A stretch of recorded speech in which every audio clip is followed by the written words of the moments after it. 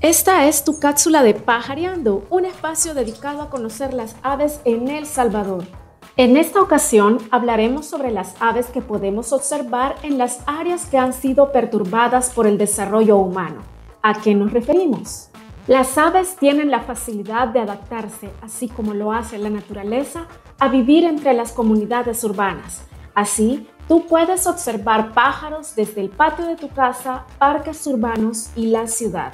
Los pájaros más comunes que puedes ver son los anates clarineros, palomas moradas, catalnicas, palomas ala blanca, sensoncles o los conocidos como chontes y otras aves migratorias que aprovechan árboles frutales y flores para comer.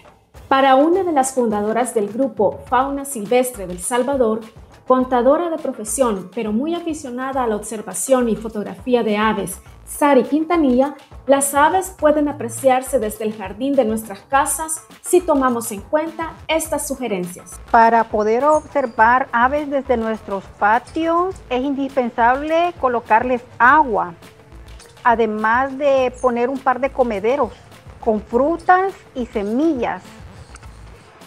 Mejor todavía si tenemos un árbol frutal o alguna que otra planta silvestre, de esas que producen bayas o semillas en espigas.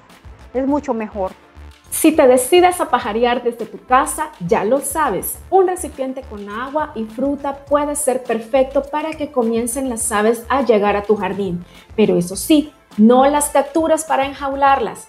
Ellas son importantes para mantener una buena salud ambiental. Otras aves que puedes ver si recorres la ciudad son semilleros de collar, chiltotas y hasta gavilanes de los caminos en busca de alguna presa. Y con estas imágenes del pájaro carpintero en busca de comida, nos despedimos. En la siguiente cápsula de Pajareando te diremos la importancia de cuidar a las aves. Hasta la próxima.